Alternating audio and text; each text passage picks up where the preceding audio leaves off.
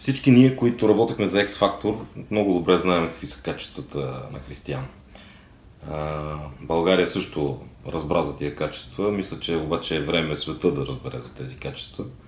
На 11 май в Киев Християн ще ни представлява пред света и тъй като ние българите не можем да гласуваме за него, призовавам всички българи в чужбина да дадат гласа си за едно наистина много талантливо момче.